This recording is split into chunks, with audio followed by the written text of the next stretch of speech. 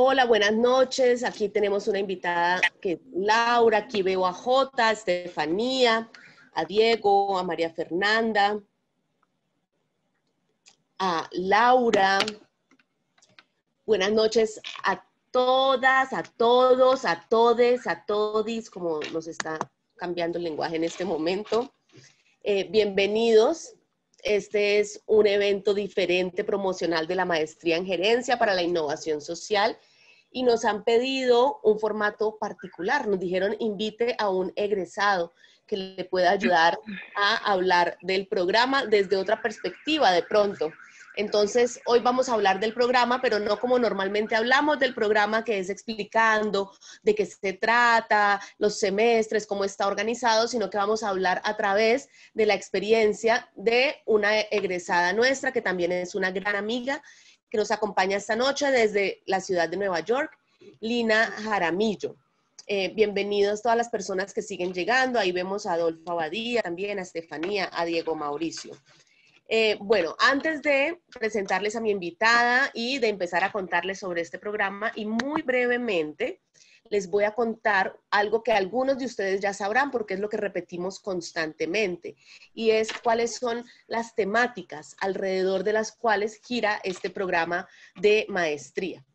Eh, entonces hablamos siempre de cinco líneas temáticas o de cinco énfasis que tiene el programa, que tiene un nombre muy amplio que es Maestría en Gerencia para la Innovación Social.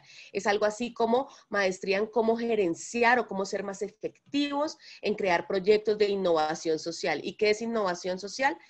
Cambios sociales profundos, verdaderos, sostenibles que mejoran la sociedad y que nos llevan a niveles de bienestar más altos. Entonces, las temáticas que siempre hemos trabajado, y aquí se las escribo muy brevemente, son, por un lado, el tema de el emprendimiento social. Aquí cuando hablamos de emprendimiento social, también hablamos de empresas sociales, de negocios sociales, de empresas tipo B. Y en general estamos hablando de una forma de transformar la realidad a través de un vehículo empresarial.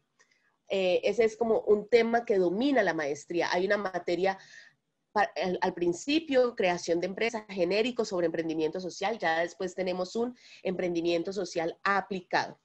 En segundo lugar, tenemos el tema de el desarrollo y la cooperación internacional. El desarrollo internacional o el desarrollo y la cooperación internacional. Sabemos que se trata de una industria que ha sido un actor muy importante y que sigue siendo un actor importante en las historias de las transformaciones sociales.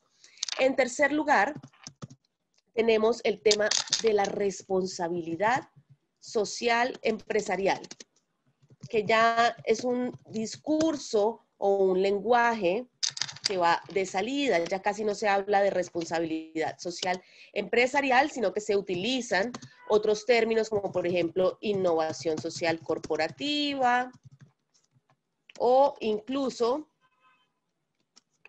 valor, esquemas de valor compartido. Ya no hablamos de responsabilidad social como un aspecto pequeñito y marginal de un modelo de negocio, sino cómo una empresa entera, una industria puede crear valor en cada uno de los puntos de su cadena productiva. A eso nos referimos con valor compartido. En cuarto lugar, hablamos del tema sombrilla, la innovación social. Tenemos varios cursos alrededor de la innovación social.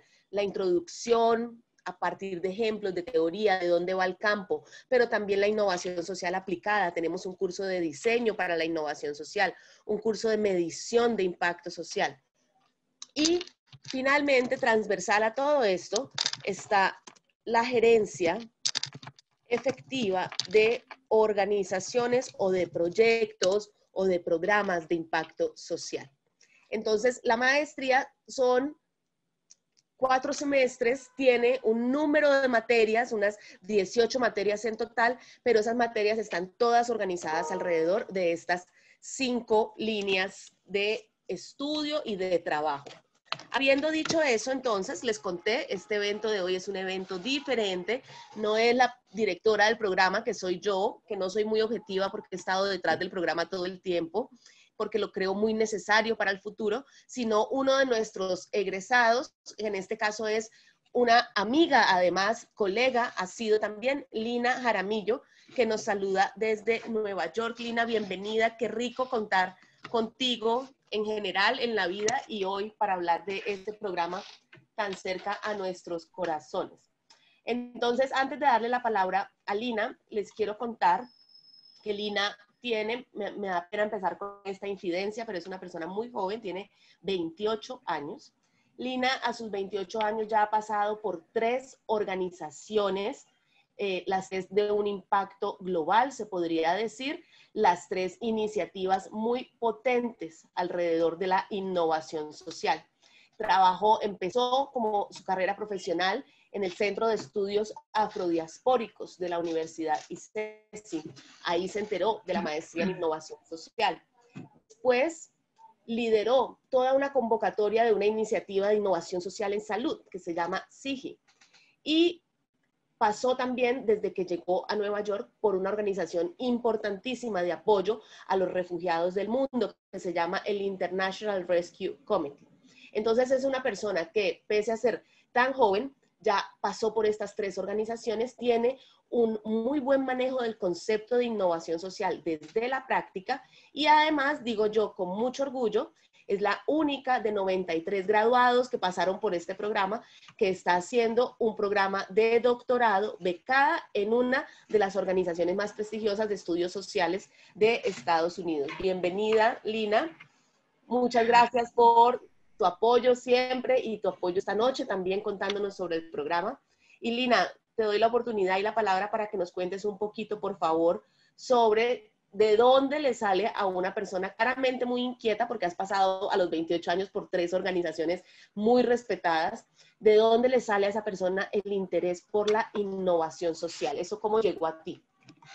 Bueno, buenas noches, María Isabel, gracias y a todas y a todos los que están conectados. Eh, bueno, a mí me interesó la innovación social específicamente desde que empecé a trabajar en el Centro de Estudios Afrodiaspóricos. En el CEAF eh, yo me encargaba de la gestión de los proyectos, pero tuve un acercamiento mm, bastante em, estrecho con comunidades de base que son parte y familia del centro. Eh, y bueno, antes de eso, yo, yo estudié ciencia política también en ICESI eh, y tuve un énfasis muy grande en relaciones internacionales, era lo que más me gustaba o lo que pensaba que me iba a enfocar, eh, pues digamos, después de graduarme. Eh, creo que al final lo he ido combinando, pero en el trabajo del CEAF, empezando, pues trabajando directamente con, con, con comunidades de base, pues me empezó a interesar cómo ser mucho más efectivos eh, a la hora de, gestionar eh, proyectos de investigación. Eh, proyectos de investigación con un enfoque activista, de investigación, pero activista y participativo. y pues el tema de la innovación social me empezó a interesar muchísimo porque lo, lo encontré precisamente efectivo, disruptivo, muchísimo más empático eh, para trabajar directamente con, con comunidades y, y pues de, de, ahí, digamos, de, además que yo he sido una persona que pues me gusta mucho el hacer, me gusta, eh, digamos, trabajar directamente con la gente, pero también eh, planeo, gestiono y, y pues pensé que la, la, maestría iba a ser como esa combinación de, de, de unas bases teóricas importantes, fuertes, pero también de aprender haciendo. Y, yo creo que eso fue lo que más me llamó la atención y lo que verdaderamente pues encontré y me, me dio, digamos, eso, eso fue lo que, lo que terminé llevándome de la maestría. Muchas gracias, Lina, por tus palabras. Lina, ya, bueno, ya, ya lo dijiste en pocas palabras, aprender haciendo, eh, énfasis en hacer, en hacer, en crear, pero ¿cuáles crees tú son como las ganancias del programa. No solamente me refiero a las académicas o a las intelectuales, sino como en general aspectos del programa que tú quisieras destacar.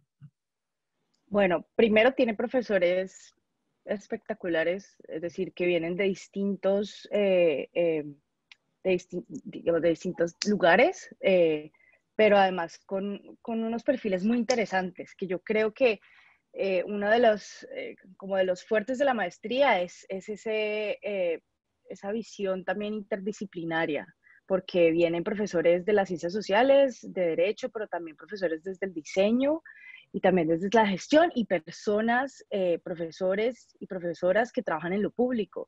Y yo creo que esa combinación de, de expertos y expertas que han trabajado pues dictando las clases, yo creo que eso es uno de los fuertes muy grandes eh, mis compañeros y compañeras supremamente eh, queridos, pero además que vienen también de, pues de Cali la mayoría, pero también de otras, de otras ciudades eh, pues, del Valle del Cauca.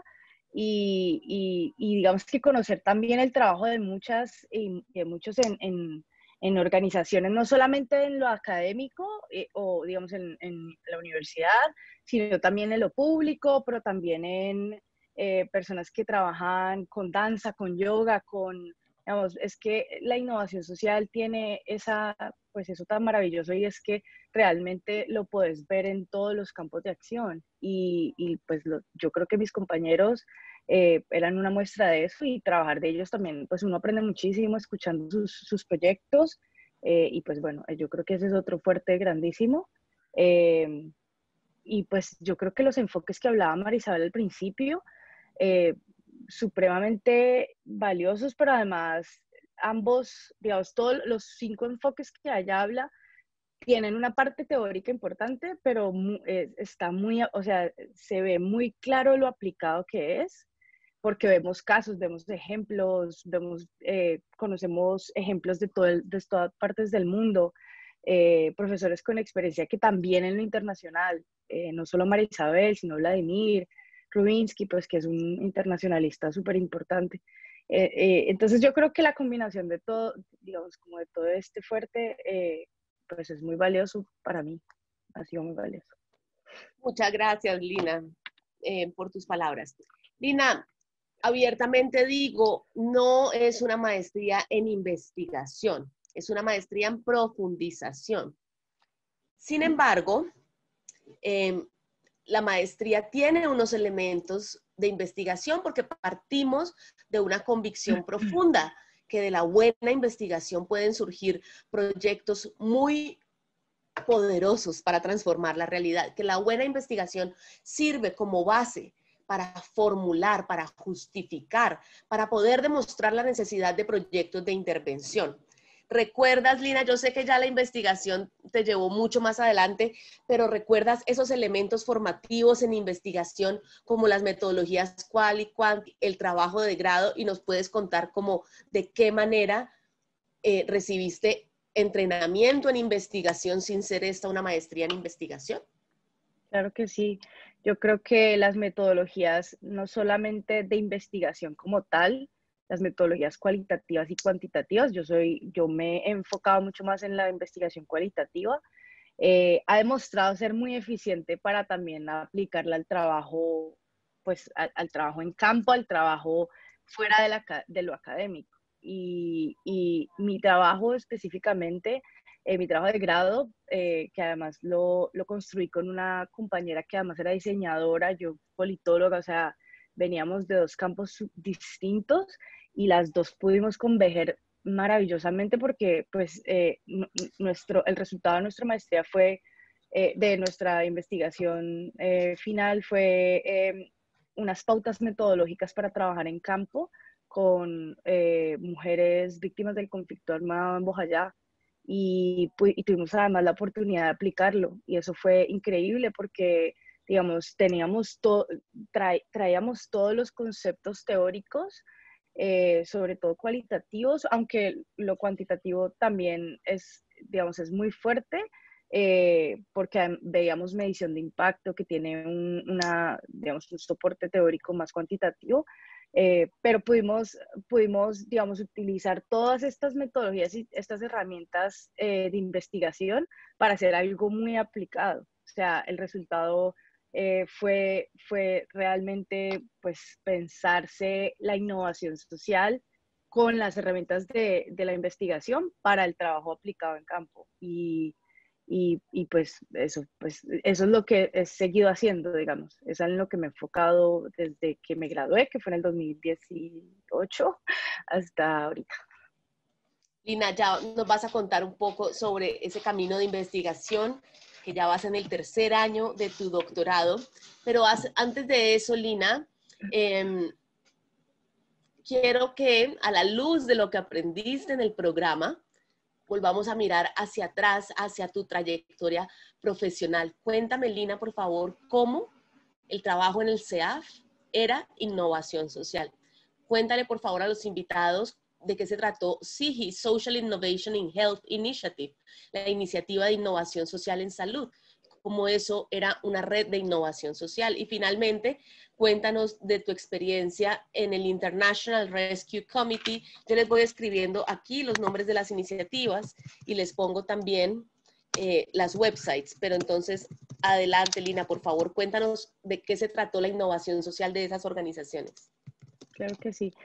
Pues el CEAF, que es el Centro de Estudios Afrodiaspóricos, es un centro de investigación, es un centro de investigación académica eh, que se basa en estudios de la diáspora africana en las Américas eh, y bueno, en África y en otros lugares. Eh, y bueno, digamos que claramente tiene un contenido académico pues bastante fuerte, importante. La directora es Aurora Vergara, no sé si algunos y algunas la conocen, pero Aurora pues es una, es una persona que dentro de la academia ha trabajado muchísimo, eh, digamos, de, la mano de las comunidades. Casi todos los proyectos de investigación son consultados y son creados, incluso eh, consultados con las comunidades.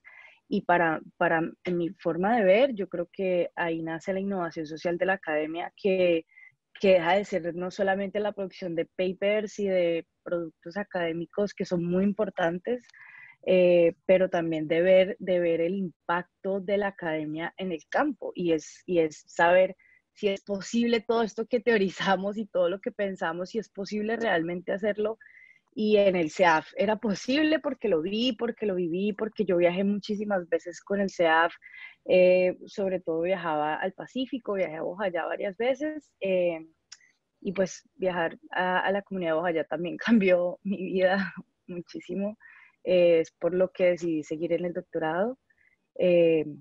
pero, pero la innovación social precisamente era, era ver esa investigación de acción participativa que, que no es tan común muchas veces y no es tan común en las ciencias sociales, incluso con la antropología y la sociología, teniendo de estudio a las sociedades y a los, al hombre, a las comunidades, eh, y con herramientas de investigación como la etnografía, eh, que es valiosísima para, para aprender a comunicarnos con, con, comunidades que son pues distintas a nosotros, pero además con trabajar la empatía, que es, digamos, una, como uno de los puntos que yo resalto de la maestría en general y de lo que aprendí en ICESI.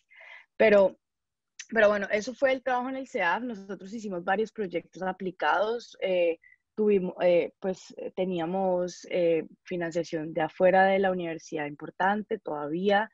y yo creo que el CEAF ha, crecido muchísimo y ha sido también precisamente por ese, por ese enfoque que le han dado a la investigación que, que ha generado digamos, que ha generado fuertes eh, cuestionamientos a la toma de decisiones, a las políticas públicas, eh, y de eso se trata, digamos, eh, dar un paso mucho más disruptivo a la sociedad y a generar un cambio real, un cambio reflexivo, pensado pues desde, desde lo teórico, pero también desde, desde la gente, de, de comunicarlo.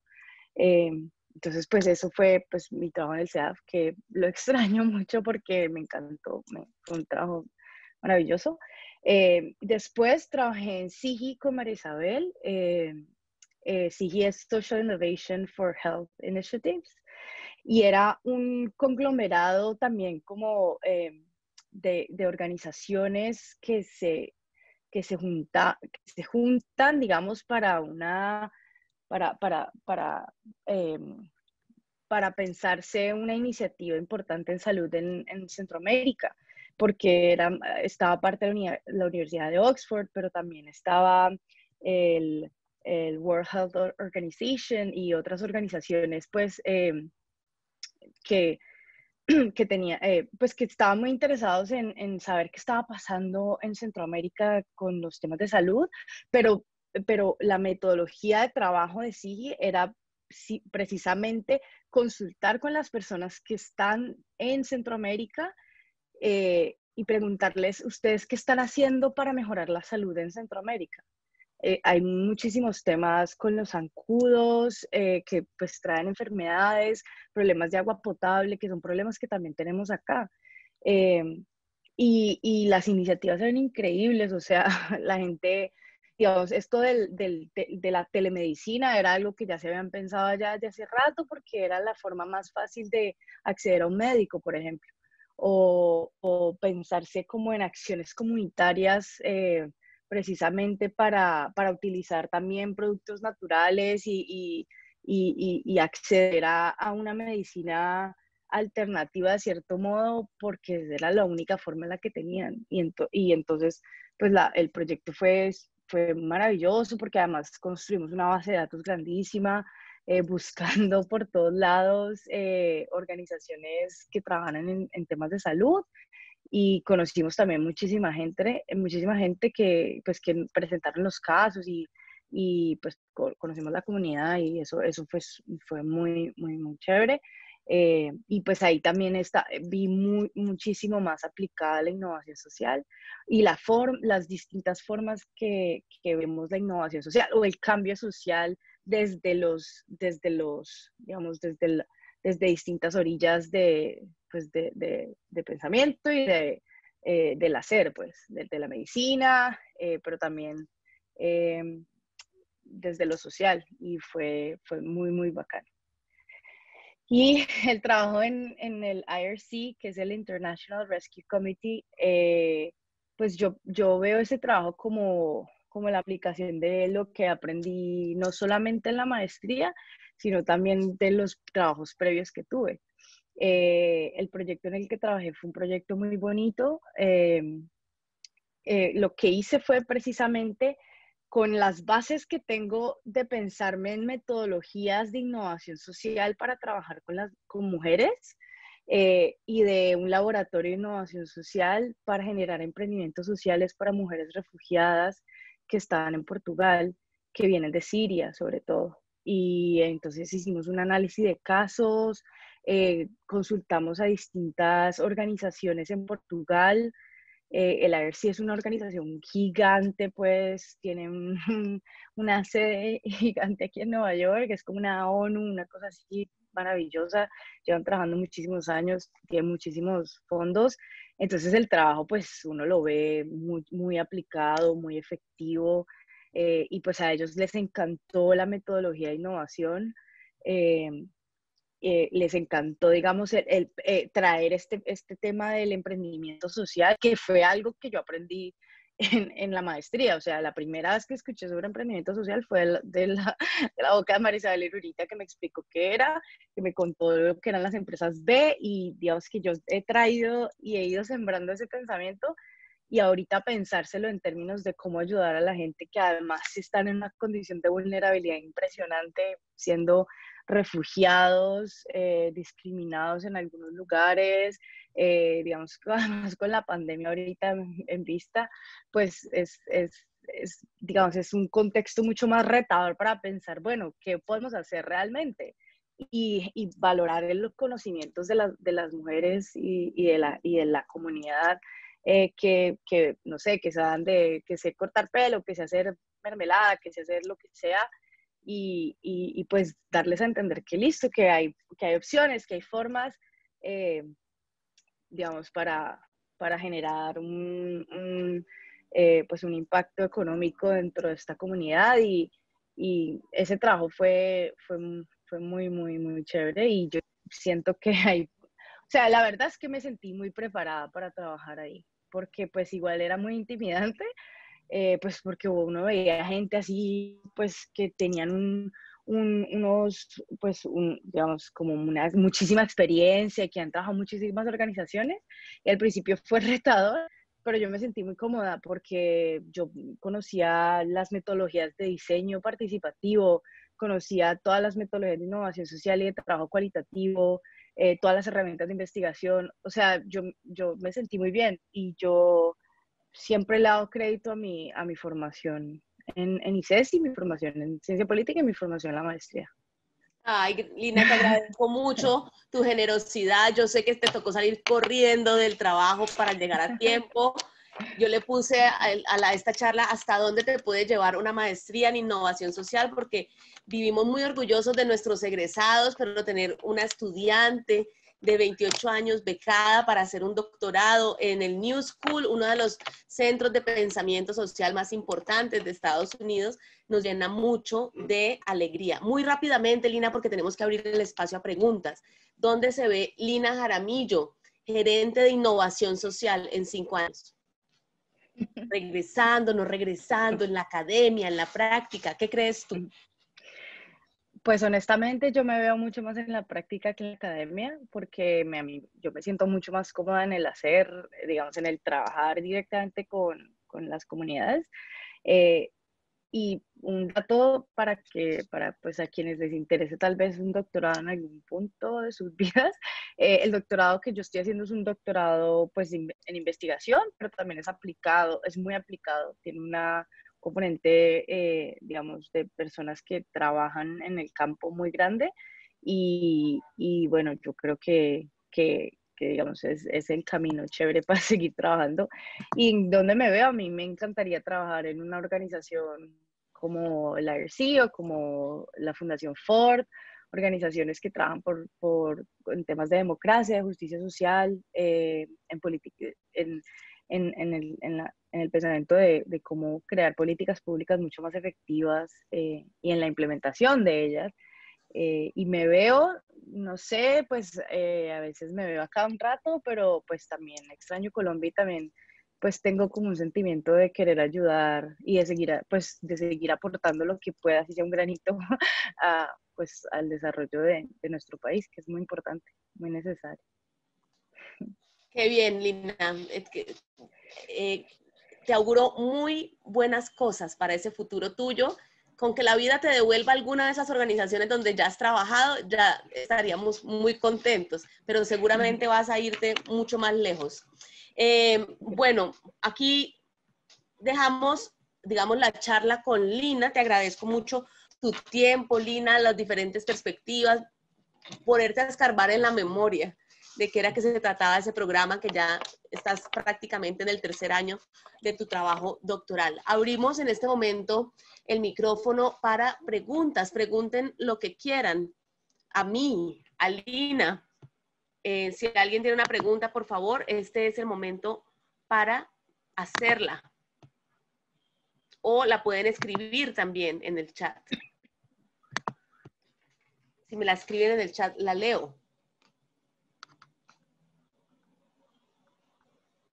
y lo que, lo que quieran saber, cualquier pregunta, eh, estamos abiertos a, conversar.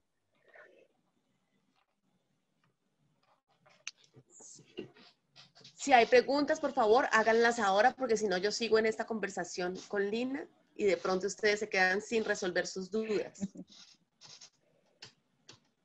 Para preguntas específicas sobre el programa de maestría, para preguntas sobre el proceso de admisión a la maestría. Me pueden contactar a mí directamente. Mi nombre es María Isabel Irurita. Ya les escribo aquí al final en mis datos. Aquí pregunta María Fernanda. ¿Es necesario estar vinculado en una organización social para ingresar a la maestría? La respuesta, María Fernanda, es no, pero te voy a decir de qué manera se le saca el máximo provecho a la maestría más que estando vinculado a una organización, es que tú tengas en mente una iniciativa que te gustaría jalonar, que te gustaría sacar adelante. Hay muchas personas que llegan a la maestría a través de una organización social y deciden enfocar sus trabajos y sobre todo aplicadas en avanzar, en mejorar ciertos aspectos de esa organización a la cual están vinculados no es obligatorio estar relacionado con una organización social, pero le sacas mucho más provecho al programa y a todos sus componentes aplicados si tienes un proyecto en mente. Puede que tú no estés vinculada, pero sí puede que tengas una pasión que te da hace mucho tiempo vueltas en la cabeza, que me inquieta mucho el tema del hambre y de las, las personas habitantes de que entonces es una oportunidad para que a través de diferentes ejercicios que hacen parte del programa académico y de las materias, tú vayas adelantando, jalonando cada vez, profesionalizando más esa iniciativa social.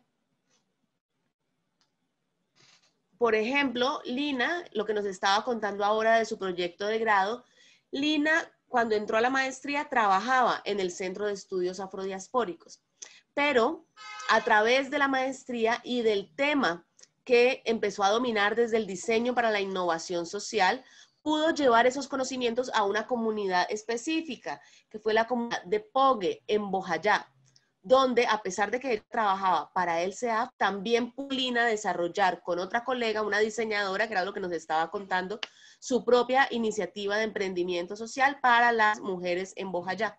Entonces fue como una combinación, estaba relacionada con una organización, pero también tuvo espacio y libertad para desde la creatividad plantear su propia iniciativa.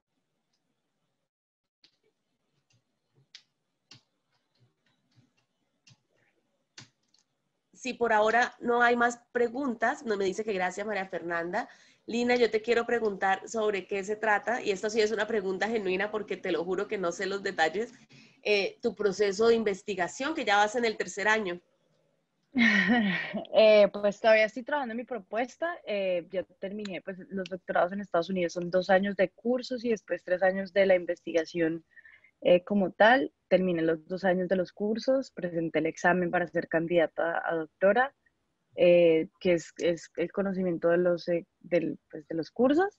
Y mi tema de investigación es sobre liderazgo social en Colombia eh, y cómo, digamos, cómo los líderes sociales representan una forma de, democracia disruptiva eh, que se sale de la legitimidad de la democracia y de la representación de la democracia, eh, pero cómo es igual de válido, igual de importante, igual de necesario y, es, y está en el contexto del acuerdo de paz eh, y bueno, todavía estoy trabajando en ello, pero sí va a estar enfocado en, liderazgo social en Colombia. Qué nota, te felicito, qué chévere oírte hablar de esos impactos que nunca nos anticipamos hasta dónde te llevó la academia.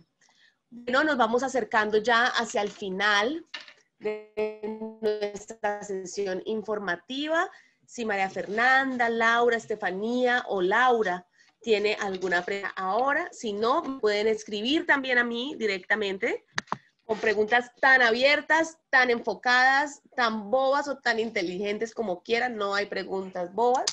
Yo me llamo María Isabel Irurita. Mi mail tiene doble I y eso es lo que lo hace complicadito. M-I Irurita arroba icesi.edu.co.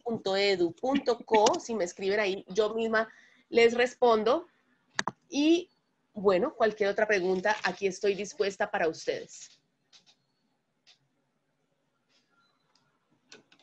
Es muy importante que tomen una decisión informada, que se metan a la website de Maestría en Innovación Social, que entiendan bien los nombres de los cursos, las áreas del programa que les estaba hablando al principio. Es importante que no confundan la maestría en gerencia para la innovación social con la maestría en gestión de la innovación, que es una maestría que se ofrece desde ingeniería y es sobre innovación industrial, no tiene nada que ver con innovación social. Aquí pregunta Estefanía, ¿para trabajar con el CEAF es necesario ser estudiante? En el CEAF en este momento tiene más de 50 personas trabajando ahí, tiene estudiantes, tiene personas que, con mucha experiencia en el campo, en todo tipo de trabajadores.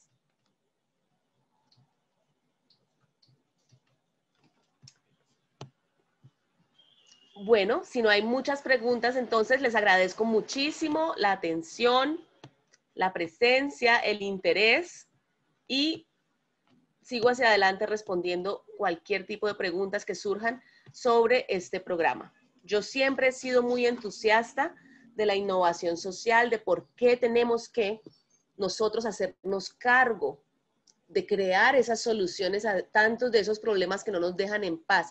Si Laura, Laura, Estefanía y María Fernanda son de esa mitad de la humanidad que no es capaz de pasar por encima del dolor del otro, sino que dice, yo también puedo contribuir a disminuir algo de estos problemas, algo de tanto sufrimiento y zozobra que vemos alrededor de nosotros, las invito a que se comprometan con estos dos años de estudio, de responsabilidad, de muchísimo compromiso, porque al final hay que tomarnos muy en serio esto de estudiar.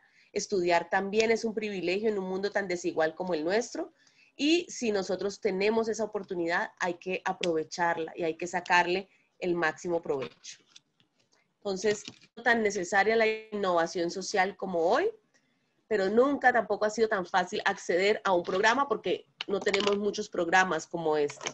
Los espero a todos, espero sus preguntas, sus, a veces no son preguntas, a veces es una duda, a veces es una charla que quiero tener, a veces es una afirmación que estoy necesitando. Entonces no duden en contactarme y aquí voy a estar para responder todas sus preguntas. Muchísimas gracias. Por aquí te felicita, te manda Laura a decir felicitaciones, Lina. Muchas gracias por este espacio. Gracias a ustedes también. Muchísimas gracias a todos por la atención. Gracias, Lina.